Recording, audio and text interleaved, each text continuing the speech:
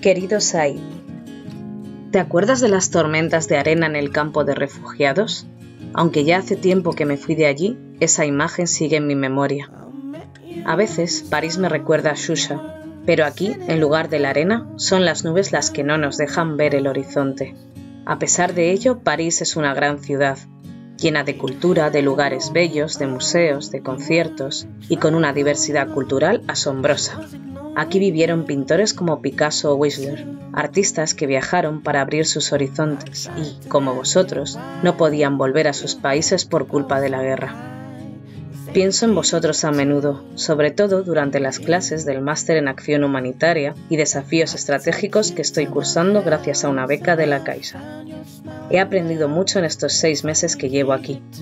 Iris y Bioforce son dos buenas escuelas, poco a poco voy adquiriendo las herramientas y conocimientos necesarios que me permitirán construir buenos proyectos de ayuda humanitaria.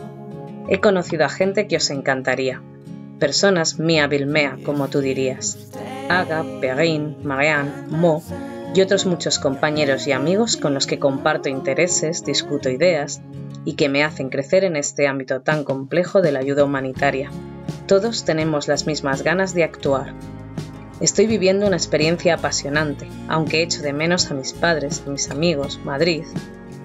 Quería agradeceros a ti y al resto de personas del campo de Shusha la fuerza que me dais para seguir adelante, para sentir que mi esfuerzo serviría para algo útil.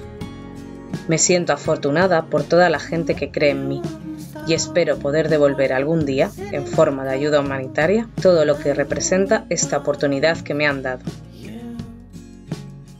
Un abrazo, Laura. Obrim les portes al progrés. Obra social La Caixa, l'ànima de la Caixa.